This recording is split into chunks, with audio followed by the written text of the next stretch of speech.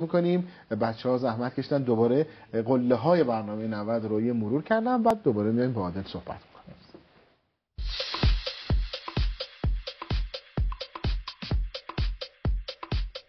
هشت روز از شروع سال 88 گذشته بود که عادل و نود به جای سپری کردن تعطیلات نوروزی به شکل غیر منتظری به آنتن شبکه سه برگشتند. موضوع باخت باور نکردنی تیم ملی به عربستان و اخراج آقای سرمربی بود و چه برنامه‌ای بهتر از 90 برای بررسی این موضوع مهم. اولین بار توی همون قسمت فراموش نشدنی از 90 بود که مشخص شد تصمیم انتخاب علی دایی به عنوان سرمربی تیم ملی فوتبالی گرفته نشده. درست مثل تصمیمی که برای برکناری شهریار رقم خورده بود. قرار نیست که شما را به این مسائل نظر بدی تیم ما امروز خیلی هم خوب بازی کرد.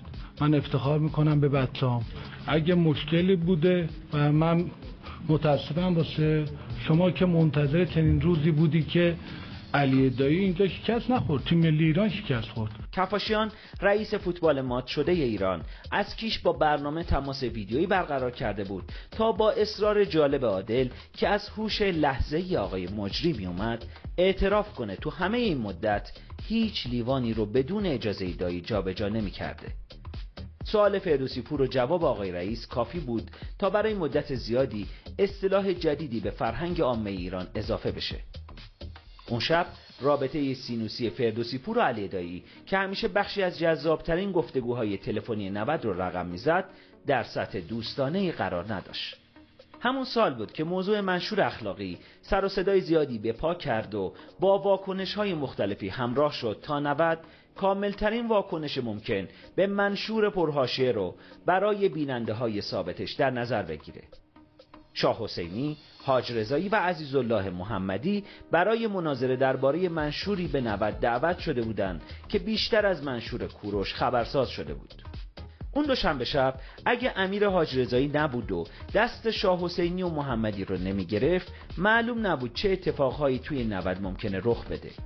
درست روبروی امیر حاج رضایی که موهای سپیدش رو برای دو طرف واسطه قرار می‌داد تا دعوا کردن رو کنار بذارند عادل فردوسی پور نشسته بود و مثل مخاطبهای برنامه به درگیر شدن مهموناش لبخند می‌زد تا به دوست داشتن دعوا متهم بشه. بازیکن وقتی ابرو برمیداره من من عین قانون رو برای شما جوانای ما از این. الگو بگیرن؟ شما اینو میگید؟ واقعا خیلی خوب اگه اینو میگید. یک ماه بعد نوبت دادکان شد که سکوتش رو در نود بشکنه و اخراج به دست علی آبادی رو مهمترین افتخار دوران مدیریتیش معرفی کنه تا نود دوباره با حاشیه های روبرو بشه. اگه روزگار به خواسته رؤسای وقت سازمان تربیت بدنی پیش می‌رفت 90 همون روزها به پایان می‌رسید. اما حتی در اوج شایعه های خروج عادل و 90 از ایران این برنامه قدرتمندانه تر از همیشه به کارش توی شبکه سه ادامه داد. هیچکس درباره ضرورت پخش 90 تردیدی نداشت. انتقادی هم اگه بود شامل حال هفته های تعطیلی 90 می‌شد. وقتی که برنامه با پایان هر فصل لیگ به استراحت طولانی می‌رفت و دیگه نه خبری از تحلیل توی قاب دوشنبه شبها بود و نه از خبر ریز شدن روی تصمیم های مهمی که در فوتبال گرفته می‌شد. نبودن 90 بهترین ایام سال رو برای مدیرهای فوتبال ایران رقم می‌زد. وقتی که می‌شد هر تصمیمی گرفت و هر کاری کرد و از پاسخگویی به فردوسی پور در امان بود.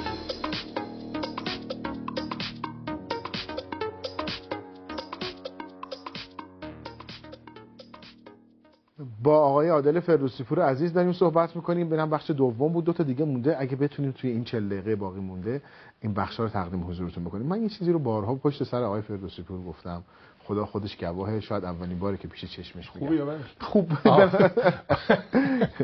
کاری که آقای فردوسی پور در طول این 15 16 ساله کرده در واقع شاید خیلی دلشون می‌خواسته تو خیلی از جاها یه جوری جناب رو حالتون رو بگیرن. شاید.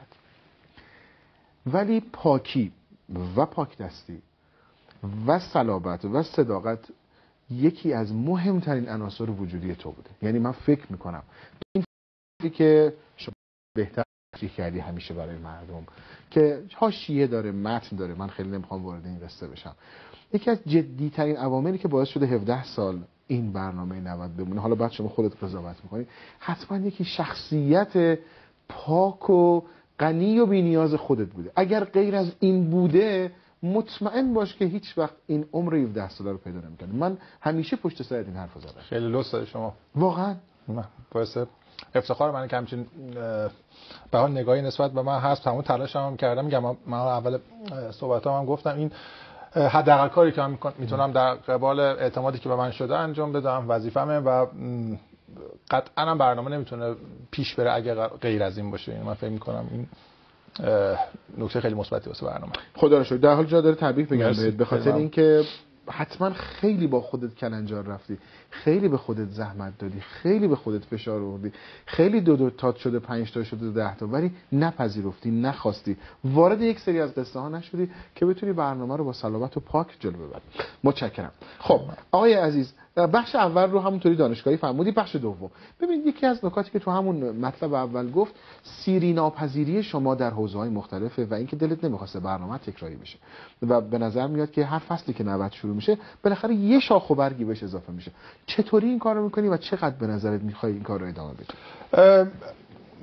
ببین تو این چند سال مهارزا خب خیلی 17 سال خیلیه. واسه یه برنامه ما یه میز یه میز ما دقیقا خودت یادت دیگه تو پخش آره. بوده دیگه. ما یه میز میشستیم اینجا یه همچین میزی بودی دو نفر میشستیم. تازه سه نفر مثلا آقای قیاسی یکم گنده تر بودن بعد میمونن جامون نمی‌شد. بعد یه مثلا این ملاف مانند بود چیزی بود رو میز میداشتیم. یعنی ما از اینجوری شروع کردیم و الان خب به حال استودیو خوب تو استودیو 11 با تلاش دوستان اونجا به حال دکور متفاوت و حالا بزرگ و خوب. تغییر حالا این در شکل ظاهریش بوده. به لحاظ محتوایی من واقعا همیشه اولا خیلی رصد می‌کنم برنامه خوب روز جهانو خیلی. من هم خودم هم دوستایی که خیلی با کمک کنن دوستای مشاوره خیلی خیلی خوبی دارم که بدون هیچ چشم داشتی واقعا با تمام وجودشون به من کمک می‌کنند. حالا بچه های رسانه ای تو سایت ها تو روزنامه ها گرفته تا دوستانی که در کنار من هستن و واقعا مدیونشون هستم ببین تو این چند سال من سه چهار دو سه سال اخیر رو میگم مثلا تقویم 90 و با مهندسین میساقی و بچه‌ای که بهش کمک می‌کنن یه آیتم با ریتم تند بسیار پویا تو 8 9 دقیقه 10 دقیقه کل اتفاقات رو بررسی می‌کنه و واقعا هیچ وقت هم از در واقع هیچ وقت کهنه نمیشه. چرا؟ چون همیشه فکر پشتش هست همیشه تلاش میشه در موردش. ما خب این نوع گزارشی که بچه ها می‌رفتن گزارشگاه خوب برنامه می‌رفتن ورزشگاه اه، و تصمیم می‌گرفتن رو از آقای امیری و آقای راسکو خدای میساقی زمان زحمت می‌کشید. و بقیه بچه‌ای که حالا حضور دارن اونجا میرم. ما گفتیم یکم تغییر کنه یعنی سبکش اومدیم به سبک حالا برنامه روز جهان تغییر دادیم که به شکل روایتی. یعنی ما نویسنده و آقای نستو بزرگی میاد کل تصاویر می‌بینه متن می‌نویسه آقای فرحپور زحمت می‌کشه متن می‌خونه. و اینا امسال این ریتم خیلی برنامه داره ریتم شد. بله. بعد بخش فنی ما از یه مدتی احساس کردیم که برنامه فوتبال خود متن فوتبال باید بیشتر بهش پرداخته بشه. به لحاظ فنی الان بخش آنالیز ما که خود مهدی با تمام گوشت و پوستش درک می‌کنه این بخش و خدای با بچه های آقای عباس که به جمع اضافه شد واقعا اتفاق خیلی خوب بود واسه برنامه ما. این بخش آنالیز خیلی کمک کرد که فوتبال و زیبایی های فوتبال بیشتر دیده بشه. ترین ها رو امسال با کمک های فرحپور اضافه کردیم. خب اینکه هر هفته بازیکن‌ها تلاش می‌کنن بیان تو این بخش قرار بگیرن یه حرکت تکنیکی انجام بدن یا یه سیو خیلی خوب یا عکس عمل خیلی خوب داشته باشن این بخش ها اضافه شدنش به برنامه خب ذائقه مخاطب و می‌بره به این سمت که به لحاظ فنی به لحاظ تکنیکی بیشتر در متن فوتبال قرار بگیره و بیشتر دنبال کنه از این حیث برنامه رو. در نتیجه من همیشه سعی کردم هر, سال یه بخشی یا ما به فراخور اتفاقات مثلا ما یه بخشی دوربین 90 داشتیم و داریم. خب خیلی مردم استقبال می‌کردن و یه مقطعی هم خیلی پرطرفدار بود و کماکان هم خیلی دوستش داره. حالا یکی دو سال گذاشتیم که دوباره می‌خوام اتفاقا راه بندازیم که مردم حضورشون کنار ما بیشتر از پیش احساس کنند یعنی به- فراخور اتفاقات در واقع اون دوره ما آیتما کم می‌کنیم زیاد می‌کنیم و سعی می‌کنیم این پویایی برنامه برای مردم قابل لمس باشه و در واقع هر هفته یا هر سال انتظار یه 90 اه، متفاوت داشتن ضمن که اصول و چارچوب برنامه که پخش بازی ها و بررسی داورش اون سرجاش باقی. بسیار. من فکر کنم امشب بهترین روش اجرایی اینه که من سکوت کنم بیشتر تو صحبت کنی مردم دوستت دارن. خیلی حرف می‌زنم یعنی؟ نه عالی عالی. یعنی فکر می‌کنم این بهترین کاره و باز امیدوارم که هموطنانمون لذت ببرن از همنشینی که ما با عادل عزیز داشتیم به عنوان کسی که برنامه رو ساخته تو طول این سالهای برنامه خوب و موفق. آقا مهدی نادریان رفته با رامبد جوان چند کلمه صحبت کرده. یادم شب میفتم که رفتی خندوانه عجب شب قشنگی بود. هم چند کلمه رامبد عزیز درباره شبکه سه صحبت کرده هم چند کلمه درباره 90 صحبت کرده به امید آغاز فصل جدیدی از برنامه خندوانه که باعث نشاط مردم ایران بشه از رسانه ملی ساعت 21 و 27 دقیقه است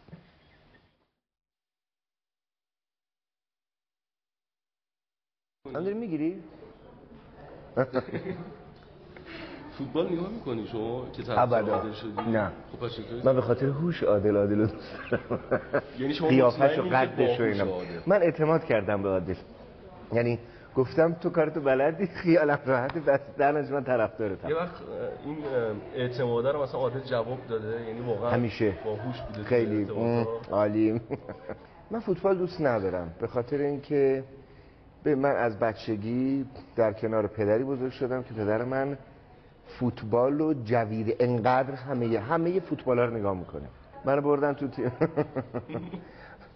ببین، آدم بی استعدادی نیستم در امور. علاقه من نیستم. می‌خوام یه بگم. من فوتبال بازی کردم. خوبم فوتبال بازی. گلم زدم اصولا. یعنی مثلا آره. مدرسه مدرسه. مدرسه رو آسفالت و اینا. بعد تو کوچه احتمالاً دیگه موقع اینجوری بود. آها تو چیزم رفتم تو سالنم رفتم بازی کردم. از این مدل که دیدی مدم شده بود یه مدت همه با همه هم با هم می‌رفتن. آره می‌رفتن بازی می‌کردن. فکر کنم سال 90 بوده شما اومدید برنامه 90 سال 90 آره، که با اسفند مزه. 90 بود درسته؟ بله بله بله آخرین. اسفند 90 آخرین برنامه 90. سال بود. اینا خیلی گرفت. خیلی عالی آره. خیلی اون خب. برنامه. موندگارش جز نه. 17 تا یکی از 17 تا برنامه موندگار 90 همون نه بابا چه آره. خوب. یعنی خود آ- خود عادلم به نیکی از اون برنامه. یاد. اه، آقای عادلم به برنامه که عادل اومد تو آره من می‌خواستم اتفاقا به همون اشاره بکنم. فوق العاده بود خندوانه رو گفتیم 90 هم گفتیم. می‌خوام یه سوال جدی بپرسم. صدا میپیچه. آره. با هم تعامل داریم. یعنی یه جایی شما برگردی با عادل بگی عادل فلان کاری که کردی اشتباه بود یا فلان کارت خیلی خوب بود یا من که نگاه برعکسش. نمی کنم نمی‌تونم بگم. من عادل میگم چون اعت- اعتماد کردم دیگه نگاهشم نمی‌کنم. ولی- عادل ولی عادل همیشه زنگ آره. عادل آ، ببین عادل مدام اس ام اس من می‌زد. بعد از برنامه هایی که براش جذاب بود و اینا. یا لحظاتی که به نظرش خیلی باحال بود. چند بار من زنگ زدم باش کار داشتم. داشت داشت خندوانه نگاه می‌کرد واقعا. عادل خیلی خوب پیگیری می‌کرد. عادل آدم باهوشتری از من و آدم پیگیرتری آدم موفقتریه. به خاطر همین اون, بلده که باید بشینه یه برنامه موفق دیگر رو تماشا کنه. من بلد نبودم نشستم نگاه کنم. ولی من عادل تحسین می‌کنم. عادل من خیلی دوستش دارم. خیلی دوستی چرا؟ آره هی وادارم نکنه هی قربون صدقش برم. چون دارم میام بگم من چون که من شنیدم قربون صدر شما رفتم چون که شما بعد از یه جشنواره یادم بود مقام اول آوردین یعنی شما محبوب شدین عادل هم محبوب شد. بعد یه پیامی گذاشت. من این چیزا خصوصی هستش ولی من گوش دادم ببخشید. یه پیامی داده بودی با عادل قربون صدقش رفت. میشه یه ذره قربون صدقش بری؟ عزیز دل منی تو نه از قشنگ. صدقه. عادل عادل قشنگم. آره عادل عادل خیلی چیزا دیگه. دلم برای تنگ خندت برام آهنگه و اینا. قد بلندش و آره، قد بلند تو قربون. چشموش چشمانش خیلی قشنگ بود. بذاریم به عهده رابطه خصوصی من و عادل دیگه. واقعا ورود نکنیم تا اینجا.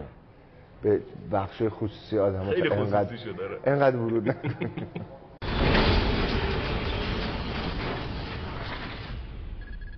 خب بسیار برنامه گلخانه رو نگاه می‌کنیم. آقا خیلی رامبد درجه یک درجه یک بود گفته می‌شد عالی عالی. من میگم یه دقیقه وقت بذاریم در اختیار آقای فیروزی پور صدقه ها رو پاسخ بده. رامبد که خیلی عزیزه. خیلی دوستش دارم. خیلی فوق العاده است دیگه. خیلی عزیز و دوست داشتنیه منتظریم برگرده دیگه رامبد ایشالا گفتگو کاملش هم سعی می‌کنیم تو سایت شبکه سه سایت 90 هم حتما بذاریم ببینید شما. چون که خیلی جذاب هستش. یه سری آمار می‌خوام درباره 90 بهتون بدیم. ببینیم آمارا چجوری بله، هستش. خود بفرمایید. عادل در مورد صحبت کنه. با همون ریتم تند 90 عادل اگر اجازه بدید. دوستان اگه زحمت بکشن تو نمایشگر کنار بنده بگذارن. من شروع می‌کنم تا اینکه برنامه 90 برای اولین بار در تاریخ 23 مرداد 1378 به روی آنتن رفت و فصل جدیدی از برنامه‌های ورزشی در تاریخ صدا و سیما رقم خورید تصویری از اولین برنامه 90 من برنامه دقیقاً 90 این دکور رو یادمه. آره بود پخش شبکه. دقیقاً اینا. آره. در استودیوی قدیم شبکه آره، استودیو سه شبکه. دو که بله کروماکی و بله بفهم برنامه 90 در ابتدا روزهای شنبه یک روز پس از روز پیشفرض برگزیدگی لیگ یعنی جمعه پخش می‌شد. بعد از دو فصل و با آغاز پخش مستقیم بازی اروپایی از شبکه 3 با توجه به همزمانی آن با برنامه 90 این برنامه به روز دوشنبه منتقل گردید. برنامه 90 در ابتدا به مدت 90 دقیقه و بعضا با اضافه با وقت اضافه در 20 120 دقیقه پخش می‌شد. ولی طولی نکشید که با توجه به حجم بالای برنامه زمان برنامه به 3 تا 4 ساعت افزایش پیدا کردش. و اما چرا برنامه 90 در همان ابتدا به یک برنامه متمایز تبدیل شد؟ برنامه 90 اولین برنامه تخصصی فوتبال می‌باشد تا قبل از این بر... تا قبل از این برنامه های ورزشی به صورت عمومی به همه ورزش ها میپرداختند. ولی این برنامه تخصصی فوتبال با اقبال فوتبال دوستان بیشمار کشور روبرو شد. یکی از دلایلش این بوده. و اما باز دوباره همون سوال برنامه 90 رو بعد اولین برنامه چالشی تاریخ صدا و سیما دانست تا قبل از 90 اکثر برنامه تلویزیونی به تعارفات معمول بین و مهمان میگذشت ولی در برنامه 90 با یه حالا این عادت رو شیکوندن مهمان برنامه با سوالات غافل غافل گیر کننده مجری برنامه یعنی عادل فردوسی‌پور مواجه می‌شد که این هم موجب محبوب محبوبتر شدن برنامه میشدش. و اما مصداق‌های تمایز برنامه 90 تا قبل از برنامه 90 مربیان و بازیکنان پس از بازی ادعاهای متضادی در خصوص مسائل داوری داشتند به عنوان مثال چند پنالتی به نفع تیمشان گرفته نمی‌شد و غیره. و هیچ مرجعی برای بررسی آن وجود نداشت. برنامه 90 از همون اولین برنامه کارشناسی داوری را در برنامه قرار داد و این خلأ بزرگ فوتبال رو پر کردش. و یکی دیگه از مستاق‌ها این بودش که در گذشته بازی‌های شهرستانی کمتر پرداخته می‌شد و اکثرا آنچه در بازی خارج از تهران اتفاق می‌افتاد گنگ و مبهم بود ولی برنامه 90 این نقیصه را هم برطرف کردش. و 90 در گذر زمان رو شما می‌بینید. اولین برنامه 90 برنامه 90 در سال 78 دکورای برنامه رنگ و لعاب برنامه 90 هم تو این تو طول این سالها عوض شده. سال 79 72 اواسط سال 79 سال 80 سال 82 90 سال 82 90 سال 85 87 تصویر سمت چپی 90 سال 89 90 سال 91 90 سال 94 این دکور کنونی برنامه 90 هستش که 90 رو در گذر زمان مش- مشاهده کردیم. برنامه 90 یک برنامه مخاطب محور هستش. برنامه 90 از همان برنامه های نخست ارتباط با مخاطبش رو در دستور کار خودش قرار داد و قبل از ورود پیامک به سامانه مخابراتی کشور این امر از طریق ارسال نامه صورت می‌گرفت یعنی آقای حسینیان یه سری نامه اونجا بودش. گونی با گونی بله،. قشنگ پخش گونی نامه رو می‌ریختیم گل برتر می‌ذاشتیم. موقع اس ام اس موبایل نبود اصلا. یعنی اس ام اس هم نبود. 72 یعنی تازه اومده بود فکر کنم 78 اینا. همه گیر نبود.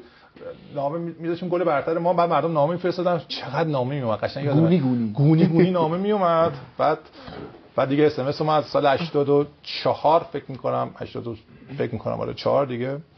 برای بانک اطلاعاتی خیلی ارزشمنده الان هر کسی من می‌تونم بعد از برنامه چک کنم که آقا من چند بار. شرکت کرده تو برنامه. برنامه 90 اولین برنامه منم فقط چک نکن عادل می‌خواد خودش هم چک کنه الان برای خودت برنامه 90 اولین برنامه تلویزیونی که مسابقه پیامکی به راه انداخت. مسابقه پیامکی از 18 اردیبهشت آه، 85. 85 آیا عادل خان به عنوان برنامه اضافه به برنامه اضافه شد. سال اون در خصوص زیباترین گل فصل بوده. که در همون نخستین برنامه بیش از 300 هزار بیننده در مسابقه شرکت کردن. تا کنون 385 مسابقه پیامکی برگزار شد. شاید این اطلاعات خود عادل هم نمی‌دونه. بعدش می‌پرسیم که این اطلاعات کی به ما داده اگر گفتن. برخی از رکوردها و افتخ- افتخارات برنامه 90 قدیمی ترین برنامه شبکه 3 هفت بار انتخاب به عنوان بهترین برنامه ورزشی تلویزیون رکورددار بین رکورددار بین برنامه های صدا و سیما با 6 میلیون و 400 هزار پیامک رکورددار تل پیامک در یک برنامه تلویزیونی که 15 9 92 این اتفاق افتاد. انتخاب به عنوان بهترین مجری برنامه های ورزشی 20 سال شبکه 3 طولانی ترین برنامه زنده ورزشی تاریخ صدا و سیما 23 3 90 که این طولانی ترین برنامه بوده. رضایت بالای 90 درصد مخاطبان در طول سالیان پخش برنامه 90 و اما نحسی 90 یه اتفاقی هستش که تو 90 اتفاق میفته. حالا خود عادل موردش صحبت می‌کنه. در بین اهالی فوتبال این باور وجود دارد که هر بازیکنی که در برنامه 90 حضور داشته باشه بعد از برنامه با بدشانسی و نکامی مواجه بذاریم بدید. مستاقاشو بگیم اول آره بغل آرمناک پتروسیان که مدت‌ها موفق به بسته نگه داشتن دروازه شده بود پس از حضور در برنامه 90 بعد از 702 دقیقه دروازه‌اش باز شد. تا, تا آخر عمرش مهران گل نخوره؟ خب خب بذار برسیم 702 دقیقه بنده خدا. گل نخورده روحله عطایی بازیکن شینی فراز بعد از آن که در هفت هفته پنج گل به ثمر رساند مهمان برنامه 90 شد و پس از آن تا پایان فصل در گلزنی ناکام ماند. تا پایان فصل گل نزد حسینی. و اما آخریش که حالا خیلی بوده. چند تا شد انتخاب؟ مهداد محمدی مهاجم راهن که در هشت بازی نخست این فصل 6 گل زده پس از حضور در برنامه 90 تا کنون نه خودش گل زده نه. تیمش. اسم بگم. این نکته رو میگم. این اولا این بیشتر در مورد بازیکن جوان صحبت می‌کنه متاسفانه. و بستگی خود طرف هم داره. من همیشه میشه ما جان یعنی مثلا بازیکنی که میاد یه دفعه مثلا چند 20 میلیون 30 میلیون میبیننش. بعد فردا که میره تو خیابون نگاه مردم بهش اصلا عوض میشه. حالا هم رسانه ها چه می‌دونم هواشی که میاد پیرامون زندگی این آدم قرار می‌گیره اصلا خودشو گم می‌کنه متاسفانه. و این یه ذره من فکر می‌کنم خیلی از این یه چیزی که بچانسی آوردم من موردش من مشتبه جباری اومد برنامه از هفته بعد 6 هفته پشت هم گل زد. یعنی مثال نقدش اون برش هم هست. اون مثلا برش هم هست. اخبار دوست دوست صمیمی شما که اومد بازی این هفته ملافا کلینشیت کرد گل نخورد. نمیگم بس که طرف داره. من همیشه میگم مهدی طارمی اومد بعدش هم انتو گل زد بعدش. به ظرفیت خود طرف بستگی داره که خودشو گم نکنه اسیر حاشیه نشه و آقای رجبی هم که اومده بودش همراه این هفته اومده همراه کمال کامیابینیه اونم مثل که همین نحسی دچار شد. دو هفته بعد از اینکه اومد تو 90 اصلا بازی ملی رو کلا از دست دادش و این مقایسه برنامه 90 با معادل های خارجی. اگر گفتی شما این آمار کی به ما داده؟ آقای قاضی زاده دیگه. آقای بازداد این است. دیگه اصلا. آره برنامه 90 پخش خلاصه بازی داره. سری آ یه برنامه هستش که مربوط به فوتبال ایتالیا هستش. اونم داره. فوتبال انگلیس هم داره. Match of the Day انگلیس. و بوندسلیگا highlight show هم داره. فوتبال اسپانیا هم داره. آنالیز فنی برنامه 90 داره. برای ایتالیا نداره. فوتبال انگلیس داره. آلمان نداره. اسپانیا نداره. حالا اینا رو که دارید می‌بینید خودتون هر کدومشون من بخوام بگم خیلی زمان می‌بره. کما نتیجه که از این آمار می‌گیریم آقای حسینیان چه که زمان ما هم کم هست آقای تو. برنامه 90 بسیار کاملتر و جامعتر از برنامه های معادل خارجی هست. یعنی واقعا اینی که ما داریم میگیم تحقیق شده در رابطه با تک تک این آیتم هایی که در برنامه 90 داره پخش میشه. و مشابه اون در لیگ های مختلف هم تهیه میشه و پخش چه میشه. جمله تاریخی از خود عادل میفهم؟ چقدر خوبی چقدر. خوبی اینو من- من برنامه مچ اف دی انگلیس خیلی یعنی اگه بخوایم برنامه من همیشه الگو گرفتن مچ اف دی الان بچه‌ها رو 90 تی وی داتا بچه‌ها می‌ذارن. هر هفته من توصیه می‌کنم اگه اونایی که دوست دارن این برنامه خیلی خوب مدرن شیک آنالیزش مثلا ما خدایش ما نزدیک هستیم. یعنی من تمام تلاشمون که مثلا به مهدی بعد نشون میدم با آقای حاج نوروزی میگم آقا مثلا اون پرس اون تیمی رو نگاه کن چجوری کار می‌کنن. قشنگ ما الگو برداشتن خیلی خوب. من, من همیشه میگم که الگو برداشتن از کارهای خوب خارجی خیلی هم خوبه. و برنامه ما مثلا اشپورت شو آلمان اشپورت استودیو آلمان اونا خیلی امکاناتشون بیشتر. ما واقعا امکاناتمون کمه. یعنی تو اومدی شریک سه دیدی ما رضا یه اتاق کوچیک ما داریم که دل خود آدم میسوزه براش. یعنی هر کی به دلش میسوزه میگه اون 90 اینه. و همه خیلی میگن ساختمان شریک سه مال 90 میگن نه بابا خدای اتاق کوچیک نمی‌دونم 10 ده 15 نفر توی نمی‌دونم اتاق البته فکر کنم یکی از ساختمون میگن یکی از ساختمان‌های 90 ما با یه اتاق کوچیک یعنی امکاناتی که ما داریم چه به لحاظ سخت افزاری چه به لحاظ نرم افزاری چه به لحاظ برآوردی چه به لحاظ از هر نظر در نظر بگیری نیروی انسانی حتی خیلی متفاوت. ولی ما همیشه تمام تلاش هم می‌کنم که حداقل به استاندارد روز جهان نزدیک باشیم. می‌خوایم بریم آقای حسینیان چون که زمان نیستش اون آیتم سوم هم ببینیم برگردیم ببینیم بعد بقیه من. خصوصی درباره امکانات با ایشون صحبت کنم. بفرمایید.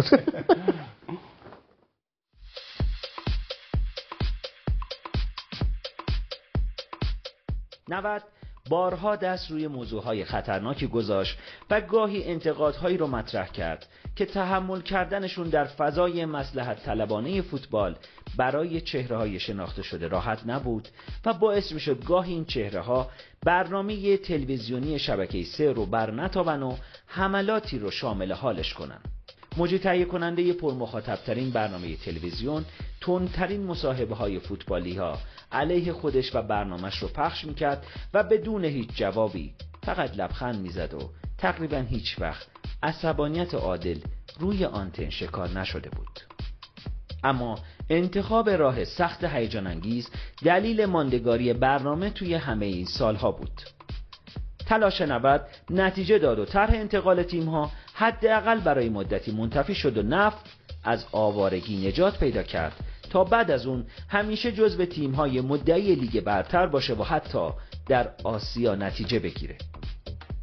این اتفاق بزرگ به خاطر برنامه شکل گرفت که هنوز در تعریف سازمانی یه برنامه دو ساعته است اما گاهی حتی تا طلوع آفتاب هم ادامه داشته. مثل شب مناظره کاشانی و دایی که از مناظره های ریاست جمهوری کمتر بیننده نداشت و یه بمب تلویزیونی واقعی بود که خیلی ها رو پای جعبه جادویی میخکوب کرد و حتی به برنامه های تنظم کشیده شد. شبی که فوتبال ایران تا صبح نخوابید. نودی که فردوسی پور ساخت توی همه حوزه ها مخاطب و طرفدار داشت. برنامه ای که رامبد جوان، سروش صحت و حبیب رضایی که هر کدوم توی تلویزیون و سینما موفقیت های چشمگیری داشتن دعوتش رو با هیجان پذیرفتن و یه شب جذاب، متفاوت و شیطنت آمیز رو توی استودیوی برنامه ساختن.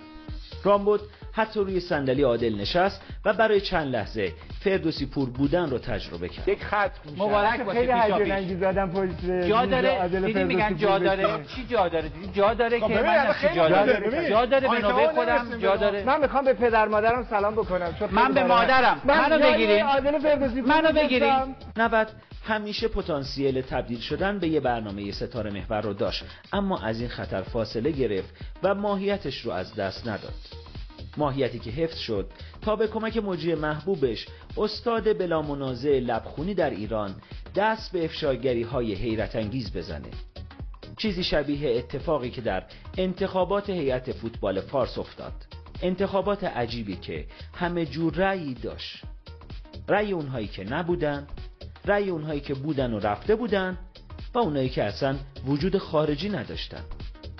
این انتخابات یکی دیگه از رازهای فوتبال ایران بود که اگر 90 نبود زبانی برای مطرح کردن و گوشی برای شنیدنشون وجود نداشت.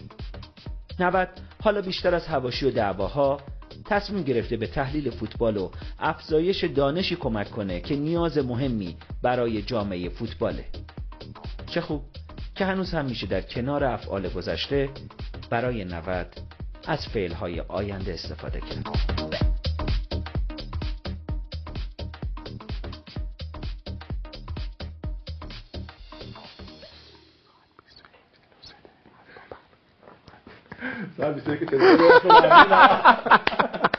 استاد لبخونی من گفتم دیگه چرا انرژی بذارم حرف بزنم؟ استاد لبخونی چی گفت؟ چیه بلا منازع لبخونی استاد بلا منازع لبخونی من یه نکته کوتاه بگم. بعد شما می‌دونم که چقدر مردم ارتباط گرفتن. دو تا نکته خیلی کوتاه. یک آقای عادل عزیز و دوست داشتنی یه وقت هست که این برنامه 90 از مستطیل سبز در واقع وام می‌گرفت برای کارهاش. ولی به نظر میاد که الان برنامه شما می‌تونه مستطیل سبز یک سری اطلاعات بده یه سری تغییر ایجاد کنه. انگار ماجرا نمی‌خوام بگم برگشته ولی تبدیل شده به یک دایره تبدیل شده به یک یعنی مستطیل در 90 تاثیر 90 در مستطیل سبز. درست میگم؟ آره دقیقا دو جانبه است دیگه. این اتفاقی است که من فکر می‌کنم حالا قبلا شاید بیشتر فرق کرده دیگه. گذشته این 17 سال یکم فرق کرده. انتظارات برده بالاتر. متفاوت شده انتظاراتی که هم مردم هم رسانه ها هم حتی مسئولان دارن. یکم متفاوت شده کارمون سخت‌تر شده. یه نکته دیگه. ببخشید آقا خواهش بعضی شبا به نظر می اومد که در طول این سالها اون پشت یه قوقاییه. قوقا به معنای قوقا به معنای مطلق کلمه. ولی خیلی برای باقی موندن برنامه 90 به شما کمک کردن. خیلی ایستادن. حتما خیلی فشارهای مختلف بوده. حتما خیلی فشارهای متنوع بوده. و رسانه و شبکه سه و مدیرانش سعی کردن که سنگر 90 رو حفظ بکنن به هر قیمتی. این چیزی بوده که من به عنوان بیننده دیدم. بعضی وقتا خودم تو خونه تنم لرزیده. گفتم خدایا آیا فردا صبح اتفاق بدتر از این هم خواهد افتاد. یعنی انقدر که شبهای داغی بوده. خیلی علاقه مندم قضاوت شما رو در این زمینه بدم. آره صد درصد همینطور. حالا چه زمان آقای لاریجانی به خصوص زمان آقای زرقامی چالش های خیلی زیاد اتفاق افتاد. از اون برنامه که من حالا تا چالش لفظی شدم با نمایندگان محترم مجلس. بعد خب فرداش تو صحنه علنی مجلس علیه من نامه امضا اینا. خب آقای لاریجانی آقای زرقامی عزیز خب پشت من وایسادن حالا آقای سرفراز فعلا اتفاق خیلی خاصی رخ نداره. اما خب مدیر بودن آقای پور محمدی به حال اون موقع مدیر شبکه سه بودن. شاید چون ایمان داشتن به سلامت کاری و مطمئن بودن کاری که انجام شده کار درستیه. یعنی اون دقیقا تو مقطعی من دوچار چالش شدم با در واقع نمایندگان مجلس و دولت آقای احمدی نژاد که خیلی در واقع انتقاد کردن از اونها یه تابوی خیلی بزرگ بوده. یعنی وای خدا چی شد فلان بهمان. ولی خب چون حرف حرف درستی بود و جلوی یه کار سیاسی غیر ورزشی گرفته شد همه پشت من وایستادم مسئولین محترم سازمان که ازشون تشکر می‌کنم و هیچ اتفاقی هم رخ نداد الانم تیم نفت داره مثل کار می‌کنه و من یه پرانتز من یادم تو کارهایی که حالا تفاوتایی که کردیم ما از نظر خود مهدی چون کارشناس کار گرافیکی هم هست فکر کنم تایید می‌کنه. ما به لحاظ گرافیکی خیلی فرق کردیم خیلی فرق کرد. حالا یعنی بردیم به سمت مینیمال شدن و مینیمال بودن. مثلا الان ولا تمام ولا که آقای ابوالقاسمی عزیز زحمتش می‌کشه همش در واقع بازی با کاغذه. یعنی هر چی شما نگاه کنید همشون با کاغذ بازی شده و یکم ریسک بود. مثلا دکور ما رو ما رفتیم به رنگایی که تو تلویزیون کم استفاده شده بعد دیگه همه همه دکورا سفید شدن روشن شدن. یکم سعی کردیم از این نظر تغییر بکنیم دیگه حالا. قرار شده که بریم یه بخشی ببینیم فقط ما هیچ چیزی بگم حیفه. یعنی دلم می‌خواد. شاید برای بیننده ها جالب باشه. آقای محمودی واعظ شما ببخشید با من دیگه تکرار نمیشه. آقا شما یک روز دوشنبه رو برای بیننده ها تعریف کن. که صبح که از خواب بیدار میشی واقعا می‌دونید چرا این حرفو می‌زنم؟ به خاطر اینکه ما همه کارهای روز دوشنبهمون انجام میدیم. با آرامش ساعت 10 تا خورده بعد از یه عالمه پیام بازرگانی میشینیم شما رو می‌بینیم. شما روزهای دوشنبه تو چطوری شروع می‌کنید؟ اشتباه ببخشید من چون که کنار عادل هستم شما اشتباه گفتین. شما باید بگین از دوشنبه ای که برنامه 90 تموم میشه رو تعریف بکن ببین چه- چون که استارت برنامه بعدی 90 دقیقاً بلافاصله بعد از برنامه می‌کنه. خب حالا هر کدوم که اولی که به ما اضافه شده بود شب من ساعت فکر کنم سه و نیم چهار صبح بود. خب من گفتم موبایلشو سایلنت می‌کنه دیگه. دلیل ندارم سه و نیم چهار صبح موبایلش رو- مثلا میخوابه موبایلش زنگ بخوره. بعد دادم مثلا فلان چیزو از فلان سایت چهار صبح. چهار صبح در بیار که واسه هفته بعد. بعد بعد فکر خانومش بنده خدا گفت این کیه دیگه بابا؟ ساعت چهار صبح چی می‌خواد؟ از روز برنامه تموم بشه. من واقعا بعد برنامه تموم بشه شروع می‌کنم. فقط بخوام دوشنبه رو بگم دوشنبه که روز خوبیه. من واقعا از خیلی بچه ها شاهدم با, با تدوینگرام آقای یار احمدی و آقای نوروزی و آقای زرگری و آقای صالحی اینا و توکلی شب تا صبح شبکه هستیم. جمعه شب شنبه شب یک شنبه شب شده تا دوشنبه خیلی یعنی خیلی نمیشه تعریف کرد. خیلی زیاده. یعنی دوشنبه روز تازه خوبیه برای شما. روز خوبیه. دوشنبه چون من سعی می‌کنم مثلا صبح مثلا دورت ساعت 12 اینا میرم. چون معمولا یک شنبه شب تا 3 و 4 شبکه هستم. یعنی تا بامداد دوشنبه دوشنبه هستم. 11 12 دیگه میرم شبکه. دیگه هستم تا برنامه. بله. جناب آقا مهدی می‌خوام بریم بخش ببینیم شما نکته داری ببینیم بفرمایید فقط کاش که اون قضیه لبخونی هم عادل, بعد از آیتمه تعریف بکنه. باشه. رفت و اومدی که تو شبکه بود اون روزها. به خاطر لبخونی. به خاطر لبخونی. بخش بعدی هم باز من لب- بخش بعدی رو ببینیم بعدش بله، برگردیم. در مورد این سوال.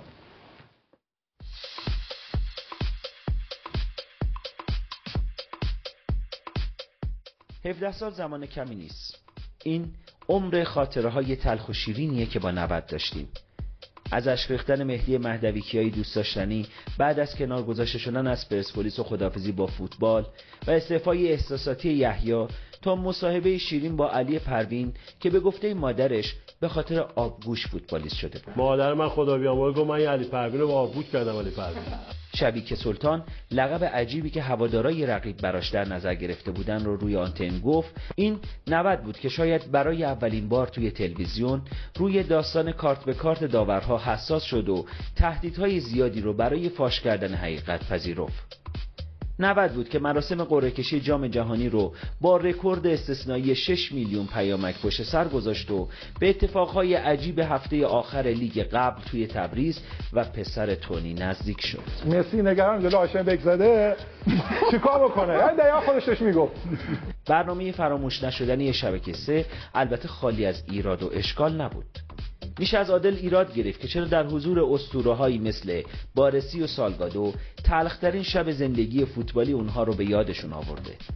که چرا توی شب پخش مرحله مقدماتی از هاشم سوژه‌ای برای خنده ساخت و چرا تصمیم گرفت مصاحبه با ستاره های کم سن و سال فوتبال ایران رو بدون سوالهای جذاب به پایان ببره؟ بدون تردید 90 برای جبران این اشکالات ریس هم برنامه داره. اما همین حالا همه اونها رو میشه به راستی مردی بخشید که همیشه برخلاف همه مجریها اشتباهاتش رو در لحظه پذیرفته و تصمیم گرفته به سراغ پنهانکاری نره.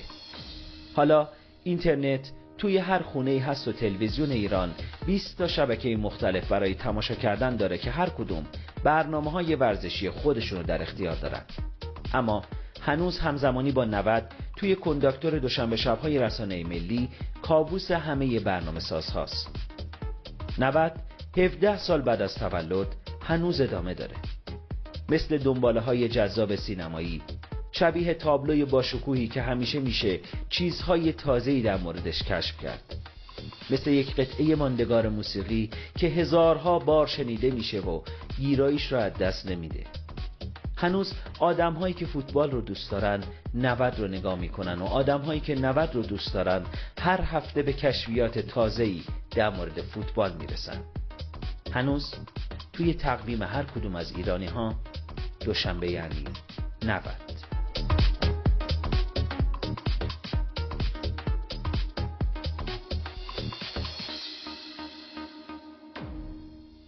بسیاری با برنامه گلخانه در خدمت شما هستیم. بررسی 17 ساله برنامه 90 می‌خوایم یکم ریتم تندتر بکنیم چون که 7 8 دقیقه بیشتر وقت نداریم. یه آیتم هم از گفتگو با علی پروین حتما به اون برسیم. یکی از سوالا رو عادل خواهر اگر من بخوام بپرسم سوال مردم گفتن که در تو قرعه کشی سوال کردن و اینکه باز دوباره همون داستان پیامک ها و اینکه پولی بعد پرداخت بکنن و این چیزا. در مورد اینم یه توضیح کوتاهی بدید چند بار گفتم کوتاه میگم. پیامک ها پیامکی که شخص به شخص در واقع داده میشه. همون مثلا من به مغازه می‌ذارم سلام حالت خوبه؟ همون حساب میشه که واسه 90 10 تومن 12 تومن. الان اینجوریه ولی داریم تلاش می‌کنیم بچه یه تشکر از بچه شرکت ADP هم بکنم که همیشه این ساماندهی کار اس ما رو انجام دادن. دارن کاری می‌کنن ان شاء الله بشه بره به سمت دیتا یعنی دیگه مردم پولی هم ندارن. اگه کسی دوست داشته باشه اون 10 تومن هم نده بتونه شرکت کنه و هزینه هم پرداخت نکنه. یه حالا یه بنده خودم گفتن که آقا چرا انقدر لامپا این استودیو 90 میتره که؟ شانس من بوم صدا زمانش البته فکر کنم چون که آره. زیاد هستش بالاخره داغ میشه و می‌ذاره باشه گفتگو می‌کنم بعد دچار اون نحسیه میشه. آره خیلی تشکر کردم از اینکه این سالها باهاشون خانم مدرس دانشگاه گفتن که از شروع برنامه تا همین الان برنامه رو می‌بینم. انقدر 90 منو جذابه که با وجود عشق به تدریس هیچ وقت سه صبح کلاس نگرفتم. ولی شما سه شنبه کلاس دارید سه شنبه ظهر دیگه صبح نیست. آیه حسینی اگر اجازه بدیم بریم آیتم آیه پروین هم ببینیم گفتگو با آیه پروین هم. ببینیم برگردیم هر چقدر دیگه برگشتیم تا ساعت 21 و 59 دقیقه فرصت داریم. شیرین ترین 90 و تلخ ترین 90 رو هم عادل دربارش صحبت کنه. فکر کنم اینجوری کار تموم میشه.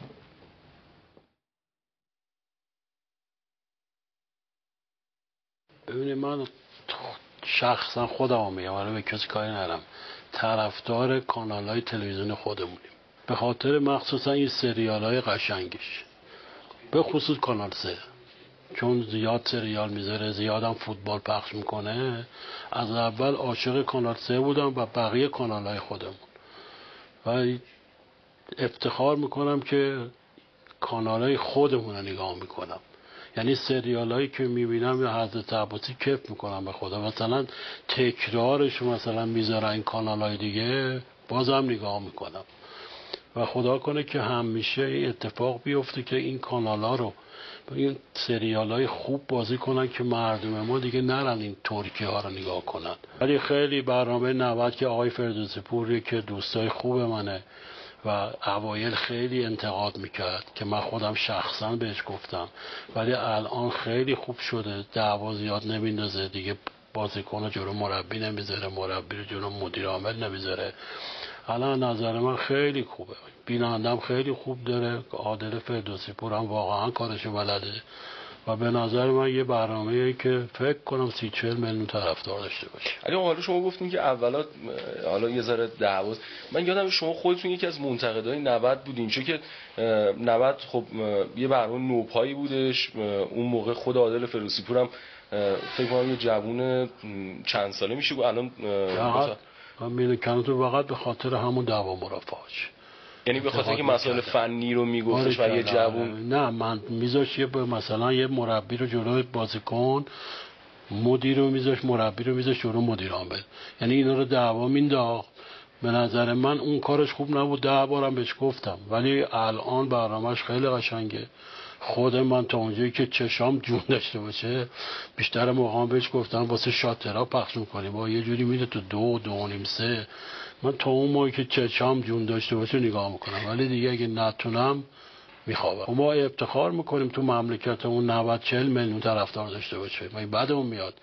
کیف می‌کنیم. من خودم هم الان از ذوق دارم فردا شب دوباره میشینم پای 90 دوستش دارم اصلا. اصلا صداش اینقدر دوست دارم صد بار به خودش جدی صداشو دوست بله، داری؟ وقتی می‌خواد یه رپورتاج بکنه همچی که میگه به نام خدا من کیف می‌کنم می‌بینم اینه. بله اینم علی آقا. خدا انشالله که عمرش رو طولانی بکنه. دمش هم گرم باشه بله، دست شما درد نکنه. بله ما. ما. هزار ماشاءالله سلام می‌کنم کیف می‌کنه؟ خدا نگهدارش باشه. فقط بگین این آیتم نصف پخش شد. حتما. تو سایت شبکه 3 پایگاه اطلاعات رسانی شبکه 3 و 90 می‌تونید شما ببینید کامل این آیتم عاشق این جمله شدم که گفت برای کنه. آقای فردوسی پور عزیز ما دو, دو دقیقه فرصت داریم. یک دقیقه میشه شیرین ترین 90 یک دقیقه میشه تلخ ترین 90 همه تشکر از همه کردم. یعنی یادم بچه پخش. یه زمان که قبلا خیلی بهشون زحمت می‌دادیم اینجا بودیم. حالا که الان از دور و دور خیلی اذیتشون می‌کنیم. بچه استودیو 11 که خیلی صمیمانه من دیگه اسمشون بگم تص... تصویربردار و صدا بردار و همه گرفته. بچه دستیاری که من یادم رفت اسمشون رو بگم و فرصت نشد از همشون تشکر می‌کنم. برنامه تلخ که حالا همون تهدیدها و اون مشکلاتی که بود غیر قابل پخشه. بذار من نگم چون زنده است برنامه غیر قابل پخش بگذاریم ازش. اما به هر حال اینجوری نبوده که همه چی گل و بلبل باشه. به به برنامه 90 بری رو آنتن 17 است. واقعا خیلی سختی من کشیدم. خیلی این موها رو اینجا تو آسیاب آره، تو همین. سختی های این برنامه. سفید کردم. برنامه سخت داشتیم. مثلا برنامه که شبیه که حجازی و هادی نوروزی مرحوم شده بودن خیلی سخت بود به حال اجرا اجرای اون برنامه. برنامه سختی بود. اه، شیرینم م، خیلی اتفاق خوب تو این چند سال رخ داد. اون برنامه که مثلا 6 میلیون خورده شرکت کردن گرفته تا اون اعدامی که نجات پیدا کرد اون مرزبانایی که به حال اتفاق براشون رخ اتفاقات خاصی که تو برنامه رخ داد. یعنی آیتم خوب که آدم میره کیف می‌کنه بعضی موقع برنامه همراه برنامه هستن. اینم اتفاقات خوبی بوده که برای من تو ذهنم باقی مونده. عادل جان خدا دوستت داره. و مسیر موفقیتت همیشه برقرار بوده. واقعا اینو جدی میگم. حالا نمی‌دونم چه مجموعی از نیروهای معنوی چه مجموعی از دعاها چه اتفاقاتی پشت سرته خیلی خدا دوستت دعای خیلی داشته. پدر و مادر دعای خیلی کسی که دوستم دارم. و مردمی که همیشه من فکر می‌کنم انرژی مثبت به من میدند. و عزیزانی که در کنارم هستند و همیشه بهم انرژی مثبت میدن. باش و بدرخش عادل فردوسی پور. انشالله خدا یارت خیلی باشه. ممنون. انشالله که حالا نقطه نظراتم من از مهدی می‌گیرم. در واقع نظراتی که مردم دادن به من و خیلی ممنون دیگه داره تموم تیتراژ داره میره آنته خدا ما برمیگردیم دو بله. ما با عادل فرسپور خداحافظی می‌کنیم. بعد از پخش خبر شماگاهی ساعت 22 در خدمتتون هستیم. با دو تا مهمون گل از مجموعه های تنز کسانی که سالها درخشیدن در مجموعه تنز شبکه سه سیما همون فرمایشاتی که آقا مهدی داشت همه درست بود. انشالله یه رو 20 دقیقه دیگه خدمتتون برسیم. شبتون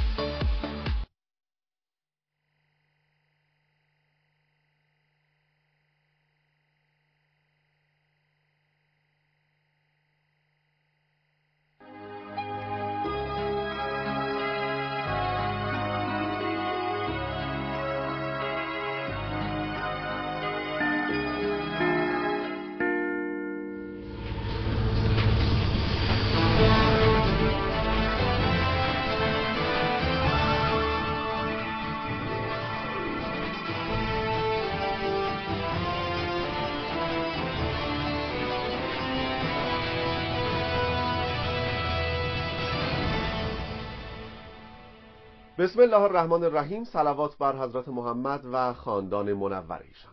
سلام. خیلی هوایی نشوید. قیمت های جدید در راه است. جراحان اما حال خالق قصه های مجید را خوب کردند. خبری هم داریم از عروسک هایی که مشکوک می‌زنند. عروس سینما هم امشب به اخبار شبانگاهی می